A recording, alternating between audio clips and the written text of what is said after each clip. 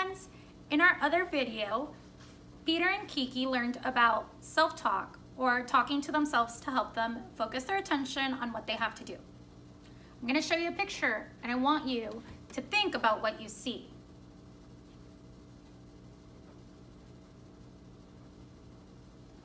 This is Olivia and this is Tony.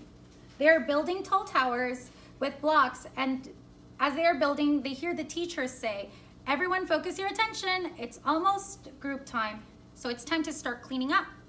And the teacher plays the special cleanup song. We have one too. Olivia begins to sing a little song to herself and she says, pick up the blocks and put them in the box. When that's done, go to group time. She and Tony put the blocks in the box and Tony can barely hear Olivia's song.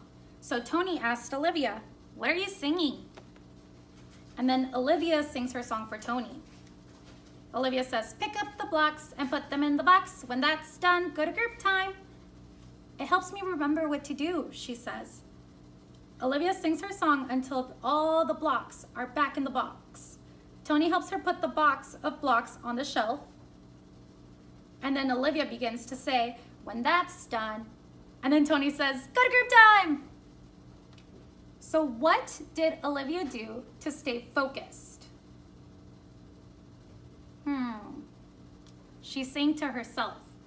She kept singing about what she had to do. Um, using self-talk helped Olivia focus her attention on what she needed to do. So what were the two things she kept repeating to remember what to do? Put the blocks away and then go to group time. If you sometimes use self-talk to help focus your attention on what you have to do, pat your head. Did you pat your head? I use self-talk a lot too, and teacher Nikki does sometimes. All right, friends, have a great day.